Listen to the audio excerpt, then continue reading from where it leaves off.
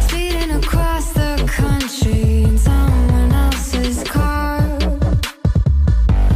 Keeping a book of secrets and taking it too far when we were sleeping.